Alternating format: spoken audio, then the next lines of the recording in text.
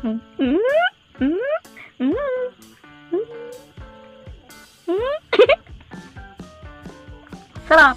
Ay, sarap. Ay, sarap, sarap. Try mo na. Mm. Sarap. Mm. So,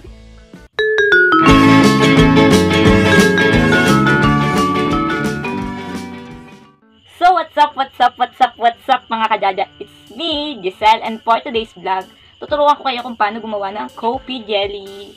Yes, kasi last time na nag-video ko, gumawa tayo ng cake chocolate. chocolate cake. Yan, gumawa tayo ng chocolate cake na nagkakahalaga ng 100 pesos. So, gagawa naman tayo ng Kopi Jelly na nagkakahalaga ng 150 pesos pero good for 8 person na po yun. And para siyang special, pang special talaga. Kasi gusto ko special ka. And iyon nga mga kajaja, alam ko naman dahil quarantine ngayon, maraming naboboard at maraming gustong gumawa na kung ano-ano. Kaya perfect para sa'yo to. Kaysa bumili ka or mag-order ka, pwede mo rin siyang gawing negosyo, di ba? 150 lang pero kapag gumawa ka, walo. I-times mo yung, kung sabihin na natin 50 pesos mo lang siya ibebenta, di ba? mas malaki pa yung magiging tubo mo. Ne. Kasi sa ngayon, mas lamang ang may alam.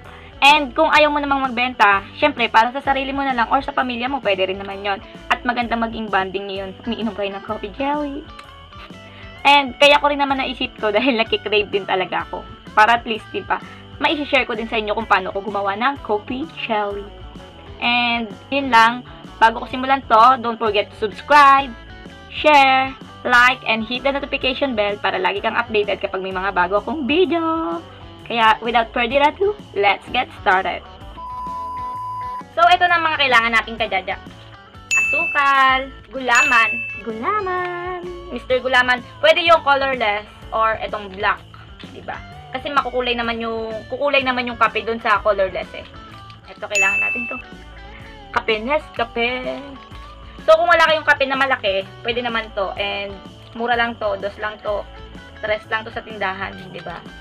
Kailangan natin na evaporada. So, ito ulit, gagamitin ko jersey ulit kasi pinakamura nga to. At talagang sulit naman talaga. Pero kung gusto mo talaga yung maganda yung quality, yung panalo, yung parang pang Starbucks, pang Dinery, yung pang mamahalin, bili ka ng Alaska. Ito, jersey. At ito naman ay condense para so, para maging matamis ang ating coffee jelly. Ang Nestle cream. So ito, pinalamig ko na muna to sa rep ng ano, pero tinunaw ko rin kasi kailangan tunaw, 'di ba? Hmm, yan na. Ito lang sa lahat ng mga to, ito ang pinakamahal kasi ito nabili ko to ng 50. Ito ay 28, 22. O, ilan na yun? 50-50. Wala pa nga sa 152 eh, mga kajaja. Kaya magagawa mo talaga to. So, isi-set aside ko muna lahat tong mga kailangan natin. And, nga pala, nakalimutan ko itong kailangan natin. Ayan, yung paglalagyan ng ating coffee jelly. Ayan, yung garapon ko mamaya. Napapakita ko sa inyo. Siyempre, pang mix.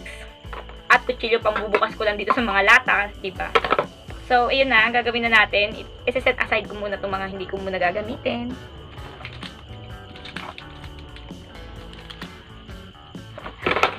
So, ang una muna natin gagawin ay eto. Panoodin nyo. Disclaimer, wala kaming magandang kaserola, pero makakaluto naman yan. Ihalo mo lang ang gulaman sa limang tasang tubig. Yan, buhos mo lang. Pagkayari niyan ay hahaluin natin ang ating gulaman. Halo-halo. Halo-halo. Haluin mo lang, baby. Pagkayari ng gulaman, syempre, hindi dapat natin makalimutan ang ating kape. Ibudbud mo lang, baby. Ibudbud mo lang, mga kajaja. Yan. Pagkayari nating ibudbod, ay hahaluin lang ulit natin. Halo, halo, halo. Pagkayari ang asukal naman. Yan. Para maging matamis ang ating jelly. Halu haluin mo lang. Halo, halo. Tapos isasalang na natin ang ating gulaman. At hihintay na lang natin itong kumulo. Okay? A few moments later. Iyon na nga mga kajaja. Nakita nyo naman, pinakuluan ko muna yung gulaman and mamaya na natin siya ipapakita kasi pinapalamig ko muna siya sa rep para tumigas. And ang susunod natin gagawin ay ito, hahalo na natin tong Nestle cream. Nestle cream muna ha. Cream. Grabe nagulat ako, mahal pala ito. Ayan. Careful lang ha. Kung may gunting kayo, guntingin nyo na lang. Ang tabang. Pinaka parang favorite ko nga yung ano eh. Yung cheese na bilog na parang may triangle, triangle. Ala na kasi nun mabilan eh. Dati sa Robinson. Kaso yung Robinson dito sa amin nasunog. Yan. Simutin mo. Kasi mahal yan eh. Harap. so, eto na. Halo-haloin lang natin.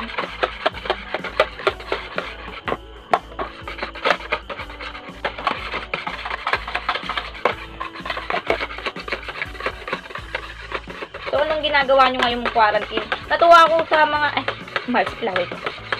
Natuwa ako sa mga nag, ano, nag-feedback about dun sa may, ano ko, chocolate cake ko.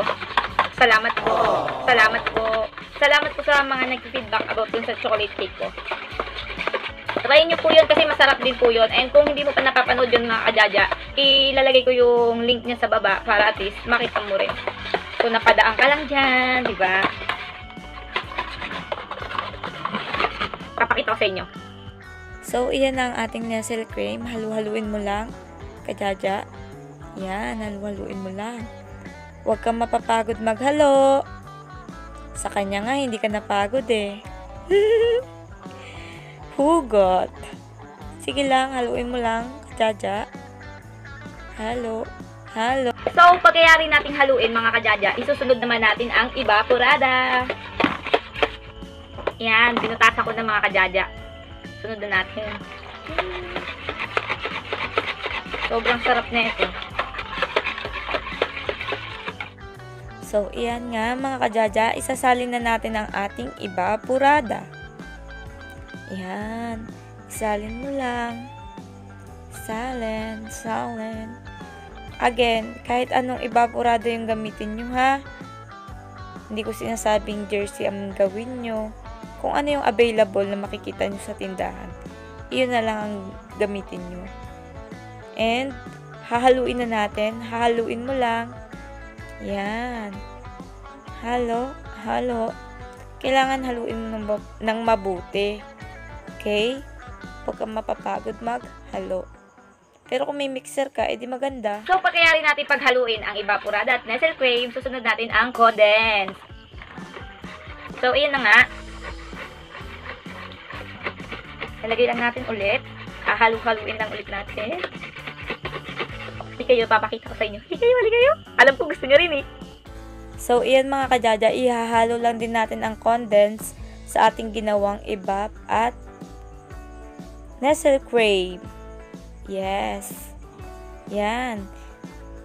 Taktak lang para hindi masayang. Yan. Tapos hahalu-haluin lang ulit natin. Halo. Haluin mo ako para sumarap. Yan. Halo. Halo. Halo. Pagkayari nun, lalagyan na natin siya ng kape. Yes, lalagyan ulit natin ng kape ang ating pinaka drinks. Pakita ko sa inyo. Halika, halika. Gusto nyo to eh. So, after nun, ilalagay ko na yung kape. Yan, na ilagay ko na pala yung kape. Yan, hahaluin na lang natin. Yan. Haluin mo ulit. Halo. Halo.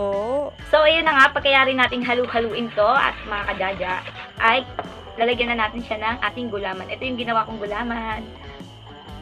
Ching! Ayan, mga kajaja.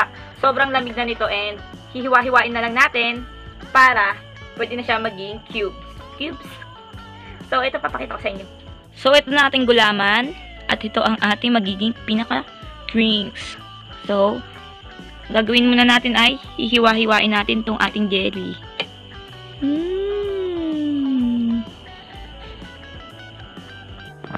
So, ayan na mga kadada. Nahiwa-hiwa ko na yung ating gulaman. And sorry kung hindi ganun kapantay-pantay. And pagkayari nun, ilalagay lang natin dito sa ating ginawang drinks.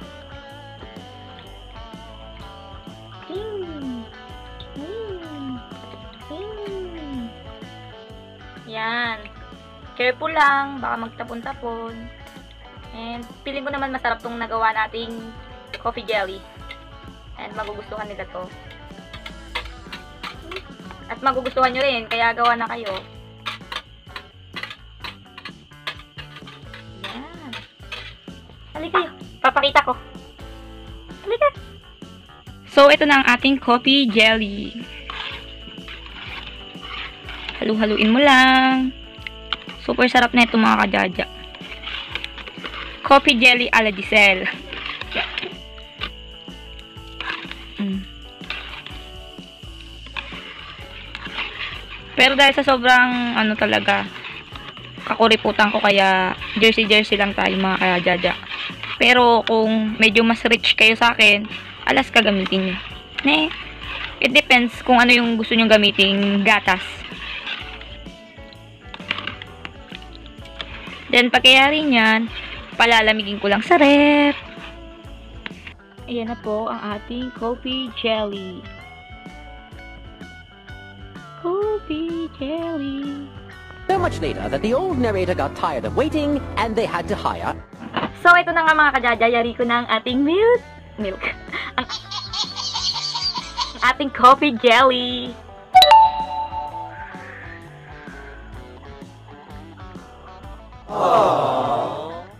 Grabe, ang sarap niya. Papahuli ka pa ba mga kajaja? Kung na kayo magpahuli at alam ko naman, magugustuhan nyo to. Lalo na't ngayon quarantine at syempre gusto natin magpataba. Sa mga gusto magpataba, kumain lang kayo na kumain. Sa mga gustong pumayat, mm, saka na lang. Saka na lang magbibigay ng advice kapag gusto ko na rin pumayat.